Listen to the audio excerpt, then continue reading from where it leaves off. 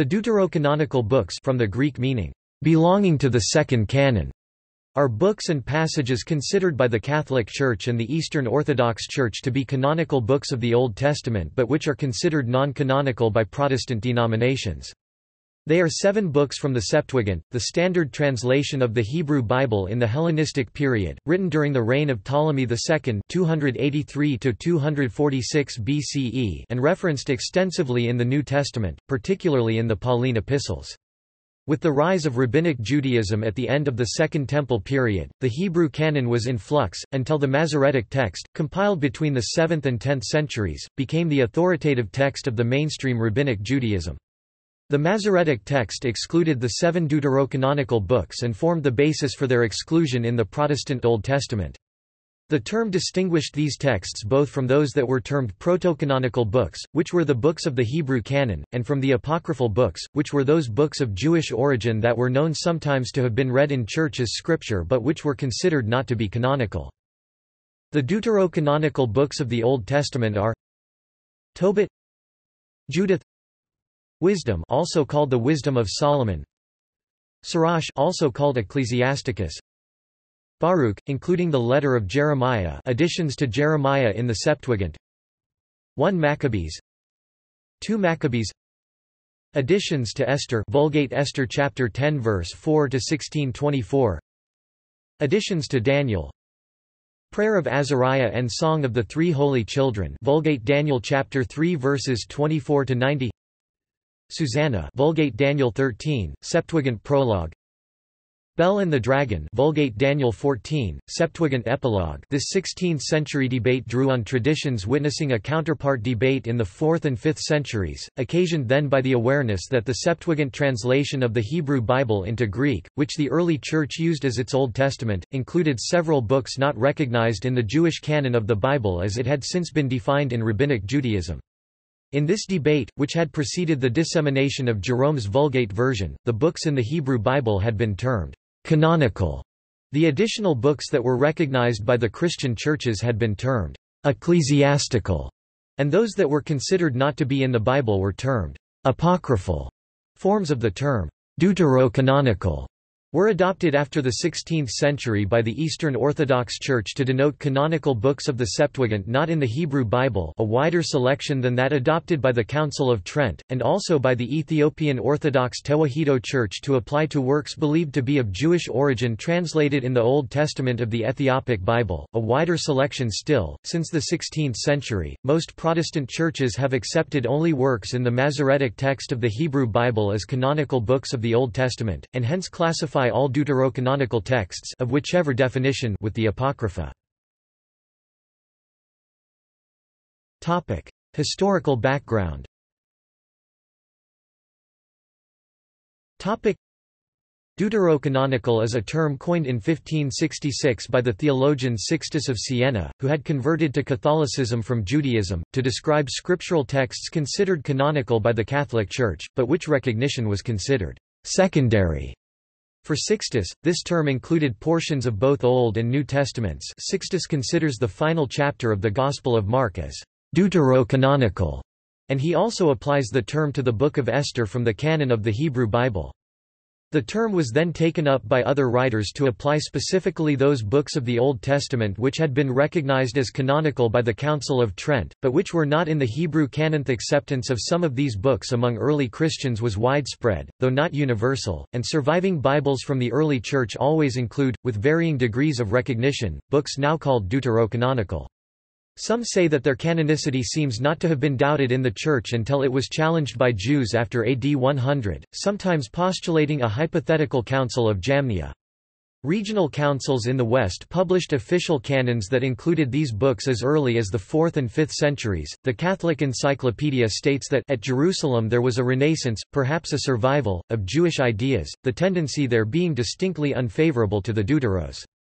Saint Cyril of that see, while vindicating for the Church the right to fix the canon, places them among the Apocrypha and forbids all books to be read privately which are not read in the churches. In Antioch and Syria the attitude was more favorable. Saint Epiphanius shows hesitation about the rank of the Deuteros, he esteemed them, but they had not the same place as the Hebrew books in his regard.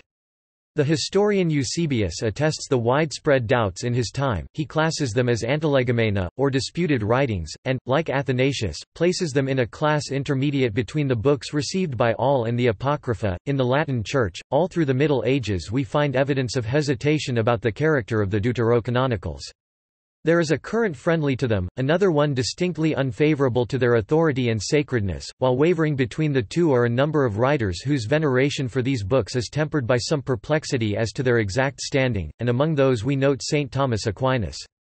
Few are found to unequivocally acknowledge their canonicity.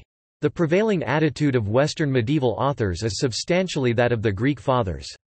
The chief cause of this phenomenon in the West is to be sought in the influence, direct and indirect, of St. Jerome's depreciating Prologus. Meanwhile, the protocanonical books of the Old Testament correspond with those of the Bible of the Hebrews, and the Old Testament is received by Protestants. Topic Dead Sea Scrolls Topic Fragments of three deuterocanonical Sirach, Tobit and Letter of Jeremiah books have been found among the Dead Sea Scrolls found at Qumran, in addition to several partial copies of I Enoch and Jubilees from the Ethiopic Deuterocanon, and Psalm chapter 151 from the Eastern Orthodox Church Deuterocanon, Sirach, whose Hebrew text was already known from the Cairo Geniza, has been found in two scrolls 2 QSIR or 2 Q18, 11 QPs underscore or 11 Q5 in Hebrew.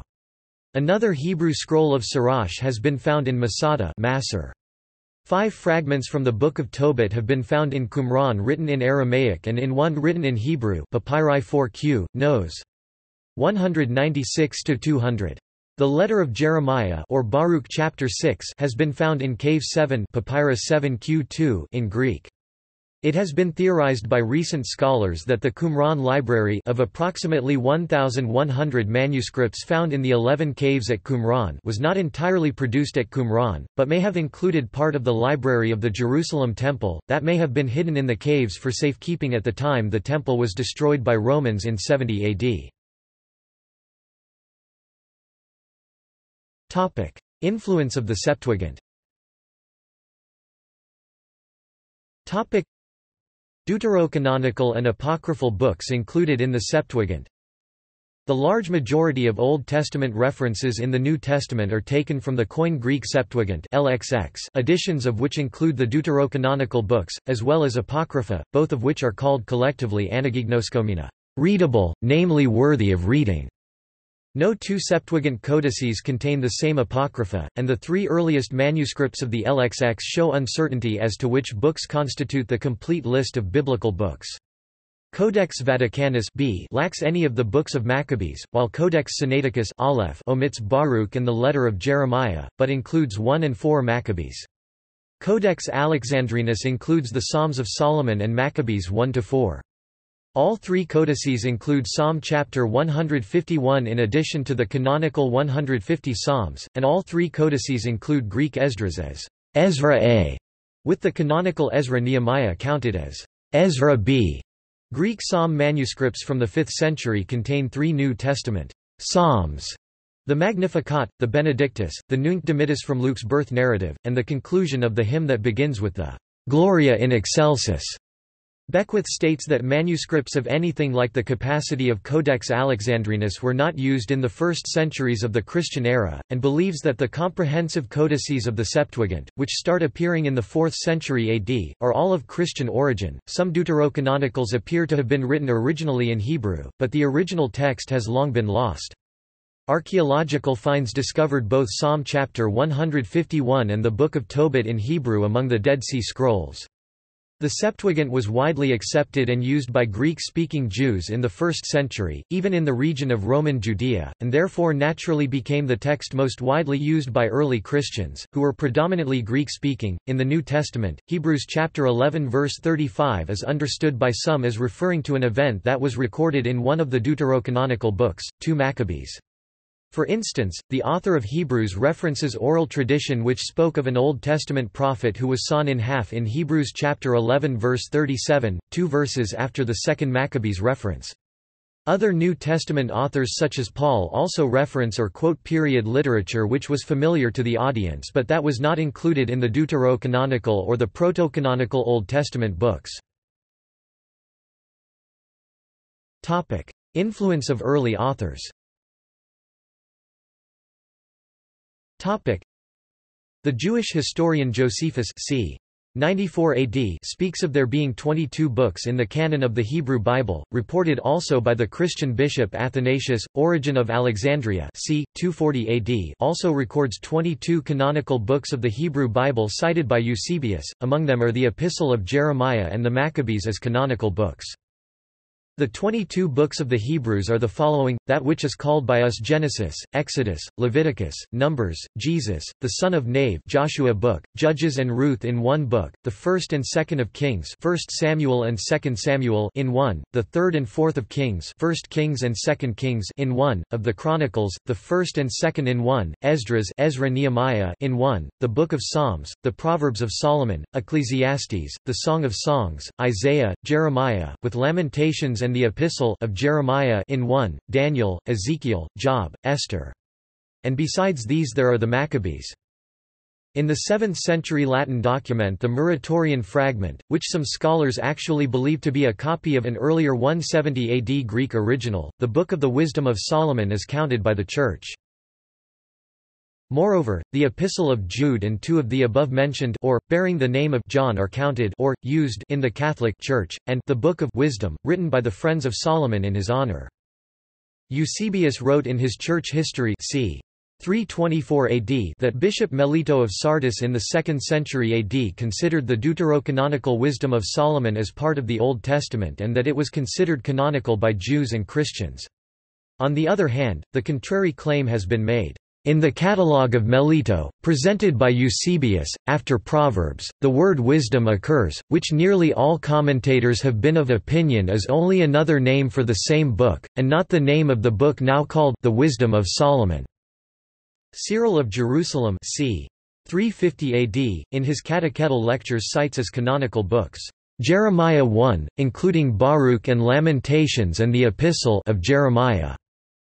In Athanasius's canonical books list 367 AD the Book of Baruch and the Letter of Jeremiah are included and Esther is omitted. At the same time, he mentioned that certain other books, including four deuterocanonical books the Wisdom of Solomon, the Wisdom of Sirach, Judith and Tobit, the Book of Esther and also the Didache and the Shepherd of Hermas, while not being part of the canon, were appointed by the Fathers to be read. He excluded what he called apocryphal writings Entirely, Epiphanius of Salamis c. 385 AD mentions that there are 27 books given the Jews by God, but they are counted as 22, however, like the letters of their Hebrew alphabet, because ten books are doubled and reckoned as five. He wrote in his Panarion that Jews had in their books the deuterocanonical epistle of Jeremiah and Baruch, both combined with Jeremiah and Lamentations in only one book. While Wisdom of Sirach and the Wisdom of Solomon were books of disputed canonicity, Augustine c. 397 AD writes in his book on Christian doctrine book 2 chapter 8 that two books of Maccabees, Tobias, Judith, Wisdom of Solomon and Ecclesiasticus are canonical books. Now the whole canon of Scripture on which we say this judgment is to be exercised, is contained in the following books Five books of Moses, that is, Genesis, Exodus, Leviticus, Numbers, Deuteronomy, one book of Joshua the son of Nun, one of Judges, one short book called Ruth, next, four books of Kings the two books of Samuel and the two books of Kings, and two of Chronicles, Job, and Tobias, and Esther, and Judith, and the two books of Maccabees, and the two of Ezra, one book of the Psalms of David, and three books of Solomon, that is to say Proverbs, Song of Songs, and Ecclesiastes for two books, one called Wisdom and the other Ecclesiasticus. Twelve separate books of the prophets which are connected with one another, and having never been disjoined, are reckoned as one book. The names of these prophets are as follows, Hosea, Joel, Amos, Obadiah, Jonah, Micah, Nahum, Habakkuk, Zephaniah, Haggai, Zechariah, Malachi. Then there are the four greater prophets, Isaiah, Jeremiah, Daniel, Ezekiel. According to the monk Rufinus of Aquileia c. 400 AD the deuterocanonical books were not called canonical but ecclesiastical books. In this category Rufinus includes the Wisdom of Solomon, Sirach, Judith, Tobit and two books of Maccabees. Rufinus makes no mention of Baruch or the Epistle of Jeremiah. Pope Innocent I 405 AD sent a letter to the Bishop of Toulouse citing deuterocanonical books as a part of the Old Testament canon. Which books really are received in the canon, this brief edition shows. These therefore are the things of which you desired to be informed. Five books of Moses, that is, Genesis, Exodus, Leviticus, Numbers, and Deuteronomy, and Joshua the son of Nun, and Judges, and the four books of Kings the two books of Kings and the two books of Samuel together with Ruth, sixteen books of the prophets, five books of Solomon, and the Psalms. Also of the historical books, one book of Job, one of Tobit, one of Esther, one of Judith, two of Maccabees, two of Ezra, two of Chronicles. Synods Topic. In later copyings of the canons of the Council of Laodicea from 364 AD a canon list became appended to Canon 59, likely before the mid-5th century, which affirmed that Jeremiah, and Baruch, the Lamentations, and the Epistle of Jeremiah were canonical, while excluding the other deuterocanonical books. The Council of Rome 382 AD, where the Decretum Gelasianum, which is a work written by an anonymous scholar between 519 and 553, cites a list of books of scripture presented as having been made canonical by the Council of Rome. This list mentions all the deuterocanonical books except Baruch and the letter of Jeremiah as a part of the Old Testament canon. The Synod of Hippo in 393 AD, followed by the Council of Carthage 397 and the Council of Carthage 419, may be the first councils that explicitly accepted the first canon which includes a selection of books that did not appear in the Hebrew Bible. The councils were under significant influence of Augustine of Hippo, who regarded the canon as already closed. Canon 24 from the Synod of Hippo 393 AD records the scriptures which are considered canonical, the Old Testament books as follows Genesis, Exodus, Leviticus, Numbers, Deuteronomy, Joshua the son of Nun, the Judges, Ruth, the Kings, IV. Books, the Chronicles, E. Books, Job, the Psalter, the five books of Solomon, the twelve books of the prophets, Isaiah, Jeremiah, Ezekiel, Daniel, Tobit, Judith, Esther, Ezra, E. Books, Maccabees, E. Books. On the 28th of August 397, the Council of Carthage 397 AD confirmed the canon issued at Hippo. The recurrence of the Old Testament part is stated Genesis, Exodus, Leviticus, Numbers, Deuteronomy, Joshua the son of Nun, Judges, Ruth, four books of Kings, two books of Paralipomena, Job, the Psalter, five books of Solomon, the books of the twelve prophets, Isaiah, Jeremiah, Ezekiel, Daniel, Tobit, Judith, Esther, two books of Esdras, two books of the Maccabees. The Council of Carthage 419 AD in its Canon 24 lists the deuterocanonical books except Baruch and the Epistle of Jeremiah as canonical scripture. The apostolic canons approved by the Eastern Council in Trullo in 692 AD, not recognized by the Catholic Church, states that are venerable and sacred the first 3 books of Maccabees and Wisdom of Sirachon. The Council of Florence 1442 AD, a list was promulgated of the books of the Bible, including the books of Judith, Esther, Wisdom, Ecclesiastes Baruch and two books of the Maccabees as canonical books.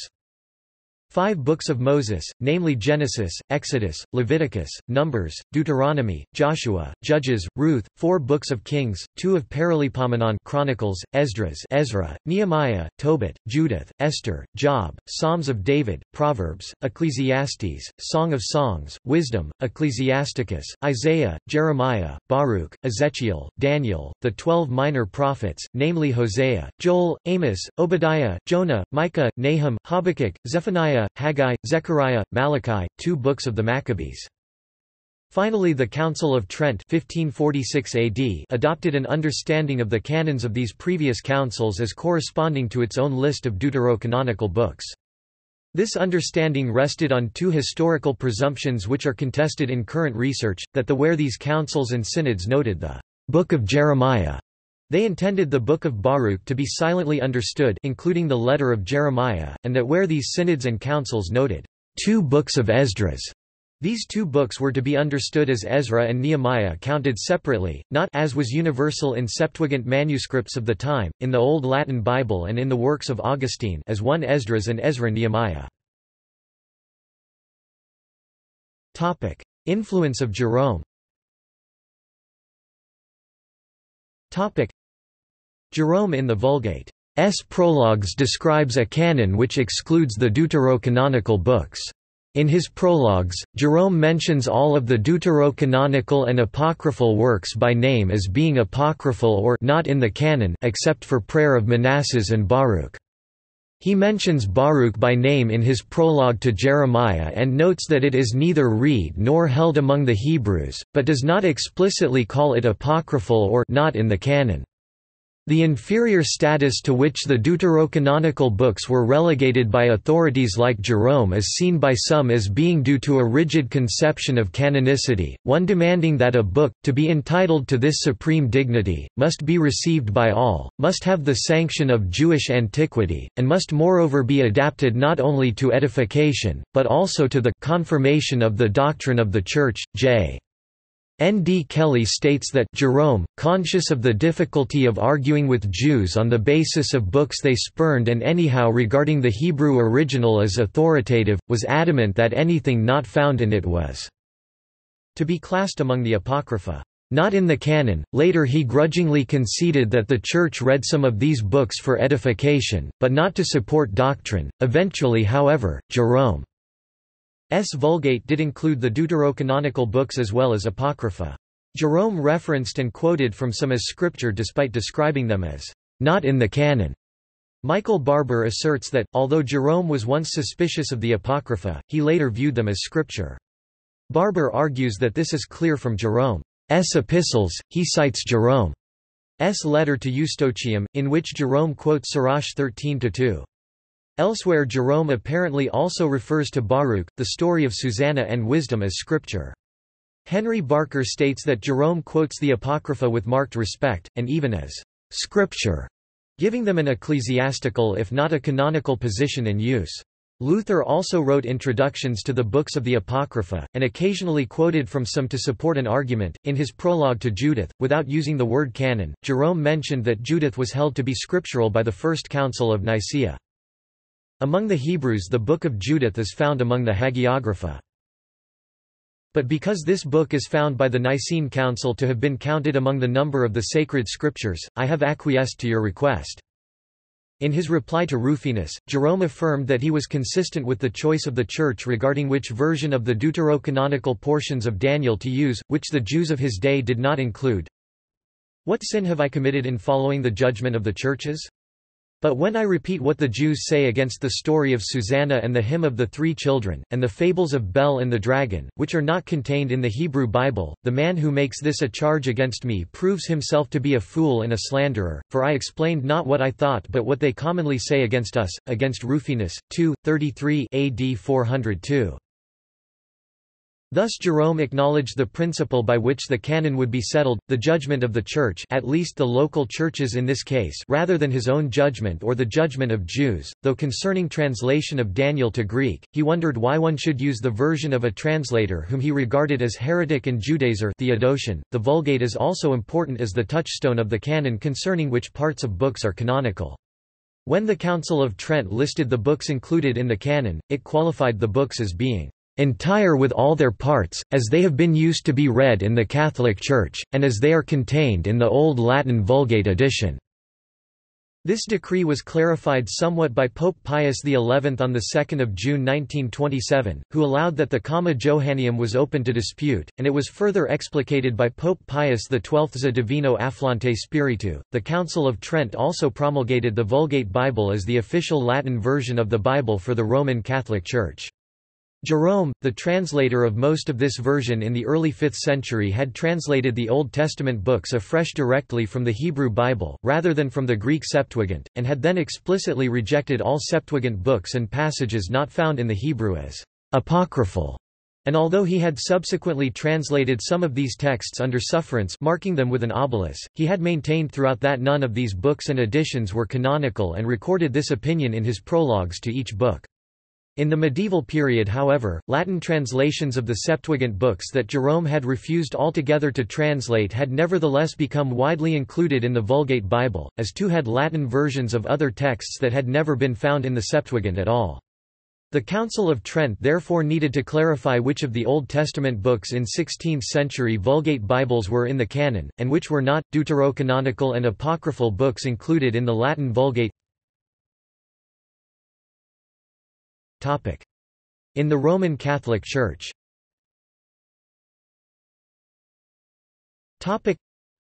Philip Schaff says that The Council of Hippo in 393, and the third according to another reckoning the Sixth Council of Carthage in 397, under the influence of Augustine, who attended both, fixed the Catholic canon of the Holy Scriptures, including the Apocrypha of the Old Testament. This decision of the Transmarine Church however, was subject to ratification, and the concurrence of the Roman see it received when Innocent I and Gelasius I AD 414 repeated the same index of biblical books. Schaff says that this canon remained undisturbed till the 16th century, and was sanctioned by the Council of Trent at its fourth session. Although as the Catholic Encyclopedia reports, in the Latin Church, all through the Middle Ages we find evidence of hesitation about the character of the Deuterocanonicals. Few are found to unequivocally acknowledge their canonicity. But that the countless manuscript copies of the Vulgate produced by these ages, with a slight, probably accidental, exception, uniformly embrace the complete Roman Catholic Old Testament. Exceptions to this narrative are Baruch and the Letter of Jeremiah, which appear in the Greek canon lists of the Council of Laodicea, Athanasius 367 AD, Cyril of Jerusalem c. 350 AD, and Epiphanius of Salamis c. 385 AD but are not separately listed as canonical in the Latin accounts of the Canons of Laodicea or any other Western synods and councils, nor are specified as canonical by Innocent I and Gelasius I, nor are present in any complete Vulgate Bibles earlier the 9th century, and even after that date, do not become common in the Vulgate Old Testament until the 13th century. In the Old Latin version of the Bible, these two works appear to have been incorporated into the Book of Jeremiah, and Latin fathers of the 4th century and earlier always cite their texts as being from that book. However, when Jerome translated Jeremiah afresh from the Hebrew text, which is considerably longer than the Greek Septuagint text and with chapters in a different order, he steadfastly refused to incorporate either Baruch or the letter of Jeremiah from the Greek. As the Vulgate Bible supplanted the Old Latin in Western Church use in subsequent centuries, so Baruch and the letter of Jeremiah are no longer treated as canonical in the works of fathers who favored the Vulgate, Gregory the Great, Isidore of Seville and Bede. In the 9th century these two works were reintroduced into the Vulgate Bibles produced under the influence of Theodulf of Orleans, originally as additional chapters to the Vulgate Book of Jeremiah. Subsequently, and especially in the Paris Bibles of the 13th century, they are found together as a single, combined book after Lamentations. The canonical status of Greek Esdras in the Western Church is less easy to track, as references to Esdras in canon lists may refer either to this book, or to Greek Ezra Nehemiah, or both. Greek Esdras provides a free translation into Greek of the Hebrew canonical Book of Ezra Nehemiah plus chapters 35 and 36 of the Book of Chronicles with other additional matter, but with the sections specific to Nehemiah removed. In the surviving Greek Pandect Bibles of the 4th and 5th centuries, this text always stands as Esdras A, while the Greek translation of the whole of canonical Ezra Nehemiah stands as Esdras B, and the same is found in the surviving witness of the Old Latin Bible. When Latin fathers of the early Church cite quotations from Ezra, it is overwhelmingly Esdras A, to which they refer, as in Augustine, City of God, 1836. Citations of the Nehemiah sections of Old Latin, Esdras B, are much rarer, and no Old Latin citations from the Ezra sections of Esdras B are known before Bede in the 8th century. Accordingly, Bogaert has proposed that all references to the two books of Ezra in both Latin and Greek authorities and councils may be best understood as denoting Esdras A and Esdras B, where most previous scholars had interpreted this phrase as an early reference to Ezra and Nehemiah as separate works. In Jerome S. Vulgate Bible however, there is only one book of Ezra, translating Hebrew Ezra Nehemiah and corresponding to Greek Esdras B, Esdras A being considered by Jerome as a variant version of the Hebrew originals.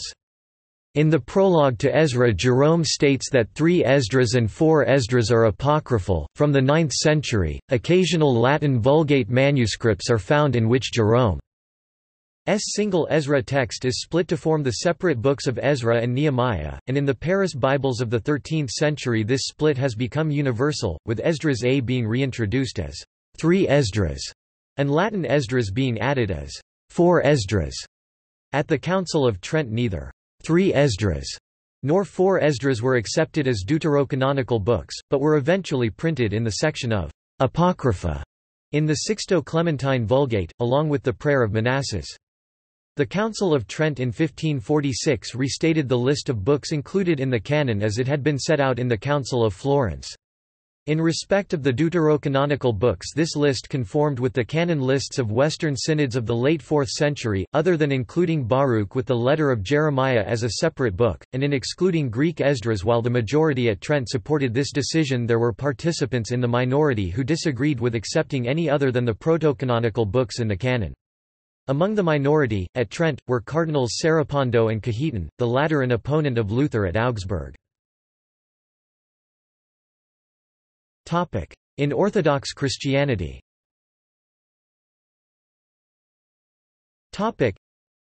Outside the Roman Catholic Church, the term deuterocanonical is sometimes used, by way of analogy, to describe books that Eastern Orthodoxy, and Oriental Orthodoxy included in the Old Testament that are not part of the Jewish Tanakh, nor the Protestant Old Testament. Among Orthodox, the term is understood to mean that they were compiled separately from the primary canon, as explained in 2 Esdras, where Esdras is instructed to keep certain books separate and hidden. Eastern Orthodoxy The Eastern Orthodox churches have traditionally included all the books of the Septuagint in their Old Testaments. The Greeks use the word anagignoskomena, readable, worthy to be read, to describe the books of the Greek Septuagint that are not present in the Hebrew Bible. When Orthodox theologians use the term deuterocanonical, it is important to note that the meaning is not identical to the Roman Catholic usage. In Orthodox Christianity, deuterocanonical means that a book is part of the corpus of the Old Testament i.e. is read during the services but has secondary authority. In other words, deutero second applies to authority or witnessing power, whereas in Roman Catholicism, deutero applies to chronology the fact that these books were confirmed later, not to authority. The Eastern Orthodox canon includes the deuterocanonical books listed above, plus three Maccabees and one Esdras also included in the Clementine Vulgate, while Baruch is divided from the Epistle of Jeremiah, making a total of 49 Old Testament books in contrast with the Protestant 39-book canon, like the Roman Catholic deuterocanonical books. These texts are integrated with the rest of the Old Testament, not printed in a separate section. Other texts printed in Orthodox Bibles are considered of some value, like the additional Psalm chapter 151 and the Prayer of Manasseh, or are included as an appendix, like the Greek 4 Maccabees and the Slavonic 2 Esdras. Topic: Ethiopian Orthodoxy. Topic: in the Amharic Bible used by the Ethiopian Orthodox Church and Oriental Orthodox Church, those books of the Old Testament that are still counted as canonical, but not by all other churches, are often set in a separate section titled Deuterocanonical, which is the same word.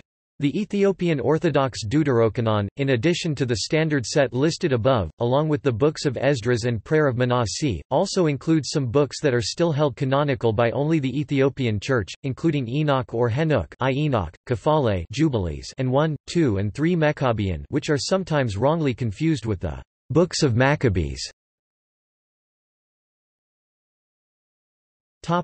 In Christian churches having their origins in the Reformation Topic. Topic. Anglican Communion Topic. There is a great deal of overlap between the Apocrypha section of the original 1611 King James Bible and the Catholic Deuterocanon, but the two are distinct. The Apocrypha section of the original 1611 King James Bible includes, in addition to the Deuterocanonical books, the following three books, which were not included in the list of the canonical books by the Council of Trent. 1 Esdras Vulgate 3 Esdras. 2 Esdras Vulgate 4 Esdras. Prayer of Manasseh. These books make up the Apocrypha section of the Clementine Vulgate, 3 Esdras 1 Esdras, 4 Esdras 2 Esdras, and the Prayer of Manasseh, where they are specifically described as outside of the series of the canon. The 1609 Douay Bible includes them in an appendix, but they have not been included in English Catholic Bibles since the Challoner revision of the Douay Bible in 1750. They are found, along with the deuterocanonical books, in the Apocrypha section of certain Protestant Bibles some versions of the King James, for example, using the word apocrypha Greek, hidden away to describe texts, although not necessarily pejorative, implies to some people that the writings in question should not be included in the canon of the Bible. This classification commingles them with certain non-canonical Gospels and New Testament Apocrypha. The Style Manual for the Society of Biblical Literature recommends the use of the term deuterocanonical literature instead of apocrypha in academic writing. The 39 Articles of Religion of the Church of England lists the deuterocanonical books as suitable to be read for example of life and instruction of manners, but yet doth not apply them to establish any doctrine. The early lectionaries of the Anglican Church as included in the Book of Common Prayer of 1662 included the deuterocanonical books amongst the cycle of readings, and passages from them were used regularly in services such as the Kyrie Pantocrator and the Benedicite. Readings from the deuterocanonical books are now included in most, if not all, of the modern lectionaries in the Anglican Communion, based on the Revised Common Lectionary in turn based on the post-conciliar Roman Catholic Lectionary, though alternative readings from protocanonical books are also provided. Lutheran churches Luther did not accept deuterocanonical books in his Old Testament, terming them apocrypha, that are books which are not considered equal to the Holy Scriptures, but are useful and good to read. Presbyterian churches The Westminster Confession of Faith, a Calvinist document that serves as a systematic summary of doctrine for the Church of Scotland and other Presbyterian churches worldwide, recognises only the 66 books of the Protestant canon as authentic scripture. Chapter 1, Article 3 of the Confession reads, the books commonly called Apocrypha, not being of divine inspiration, are no part of the canon of Scripture, and therefore are of no authority in the Church of God, nor to be any otherwise approved, or made use of, than other human writings. Reformed churches the Belgic Confession, used in Reformed churches, devotes a section Article 6 to the difference between the canonical and apocryphal books, and asserts that all which the Church may read and take instruction from, so far as they agree with the canonical books, but they are far from having such power and efficacy as that we may from their testimony confirm any point of faith or of the Christian religion, much less to detract from the authority of the other sacred books. The Jewish position Topic Judaism and most Protestant versions of the Bible exclude these books. It is commonly said that Judaism officially excluded the Deuterocanonicals and the additional Greek texts listed here from their scripture in the Council of Jamnia c. 70–90 AD, but this claim is disputed.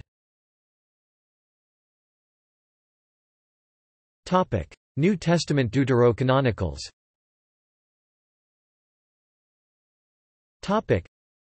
the term deuterocanonical is sometimes used to describe the canonical antilegomena, those books of the New Testament which, like the deuterocanonicals of the Old Testament, were not universally accepted by the early Church. These books may be called the New Testament deuterocanonicals, which are now included in the 27 books of the New Testament recognized by almost all Christians. The deuterocanonicals of the New Testament are as follows The Epistle to the Hebrews The Epistle of James the Second Epistle of Peter The Second Epistle of John The Third Epistle of John The Epistle of Jude The Apocalypse of John also known as the Book of Revelation Luther made an attempt to remove the books of Hebrews, James, Jude and Revelation from the canon notably, he perceived them to go against his new doctrines such as sola gratia and sola fide, but this was not generally accepted among his followers. However, these books are ordered last in the German-language Luther Bible to this day. See also. Topic. Apocrypha. Biblical Apocrypha. Biblical canon. Books of the Bible. Pseudepigrapha. References